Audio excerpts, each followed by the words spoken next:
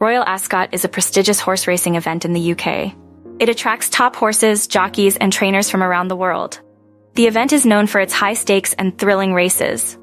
After Royal Ascot, there's a simple betting system you can use. The system involves backing the favorite horse in the next race. The key is that the horse must have raced at Royal Ascot last time out. This approach leverages the high competition level at Royal Ascot.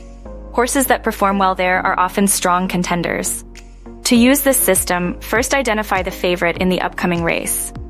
Check if this horse participated in the recent Royal Ascot. If it did, consider placing a bet on it. This method is straightforward and relies on accessible information. It doesn't require deep knowledge of horse racing. This system is simple yet effective for betting enthusiasts. It offers a structured approach to betting after Royal Ascot. Give it a try and see how it works for you.